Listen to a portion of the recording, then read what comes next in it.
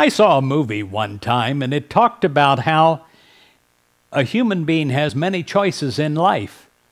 You can, in a millisecond of time, decide to go this way, or you can decide to go this way, and it will change the whole rest of the course of your life.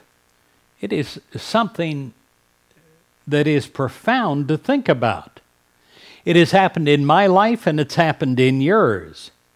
Have you ever thought back to a certain time in your past when you chose to go one way with your life instead of another?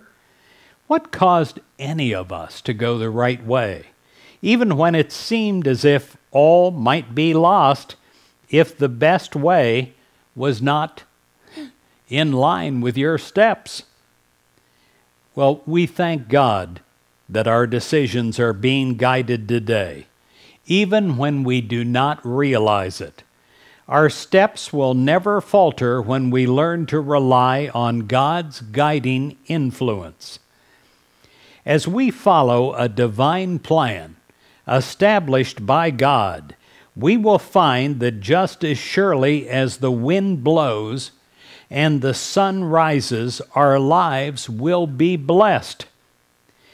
And if the path we choose seems to hit a dead end, we can know that there is a reason for the dead end. There is something in the situation that we need in order to better ourselves.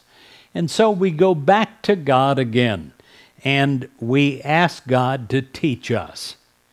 It says in Psalms 32, verse 8, I will instruct you, I will teach you the way.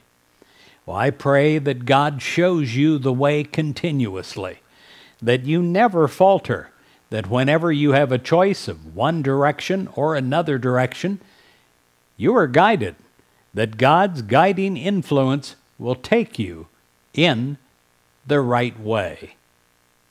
In Jesus' name we pray. Amen.